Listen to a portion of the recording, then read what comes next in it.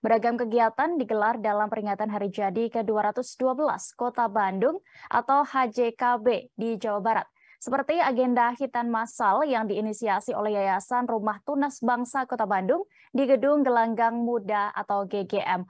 Seperti apa pelaksanaan dari kegiatan ini Tribuners akan disampaikan reporter Tribun Jabar. Kami sudah terhubung dengan rekan Nandri Prilatama di sana. Silakan rekan. Terima kasih rekan Dea.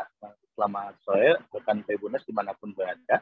Eh, di tepat pada hari kemarin, tepatnya Minggu tanggal 25 September 2022, itu Bandung merayakan hari jadinya yang ke-212 tahun.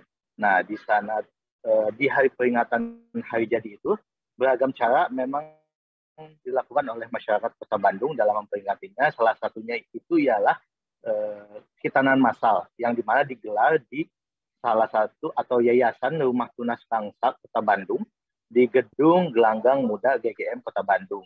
Nah, bertajuk eh, dari hati kita peduli, hitanan massal ini diikuti oleh sebanyak 121 anak dari 30 kecamatan di Kota Bandung. Ketua Umum Yayasan Rumah Tunas Bangsa Kota Bandung, Aji Giat Niko, eh, sempat mengatakan bahwa hitanan massal ini merupakan gelaran dalam memeriahkan hari jadi Kota Bandung itu sendiri. Nah, eh, kegiatan itu sendiri merupakan hadiah bagi Kota Bandung karena memang eh, yayasan itu dibina dan didukung oleh Dinas Sosial Kota Bandung.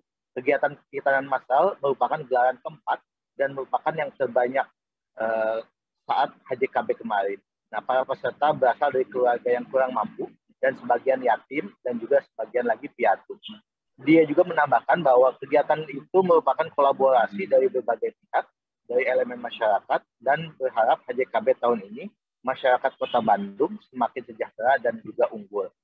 Dan sebelum sebelum kita masal, eh, berbagai event pun dilakukan di Kota Bandung, yakni seperti bebersih kota, kemudian eh, Bandung berbagi, dan juga kemarin di setiap kecamatan dilakukan kegiatan-kegiatan untuk memeriahkan hari jadinya Kota Bandung yang ke-212 tahun. Begitu rekan Dea dari uh, Bandung. Baik, terima kasih rekan Andri Prilatama untuk informasi Anda. Selamat kembali bertugas. Terima kasih sudah nonton. Jangan lupa like, subscribe, dan share ya.